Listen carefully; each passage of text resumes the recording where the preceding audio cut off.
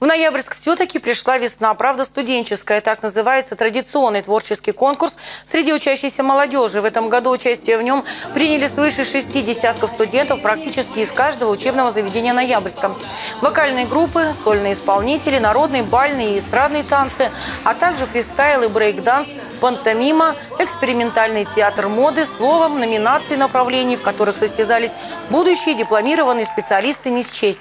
За каждым номером пристально следила строгое жюри. Наиболее удачные номера вошли в программу гала-концерта. Он прошел в эти выходные в городском Дворце культуры и кино «Русь».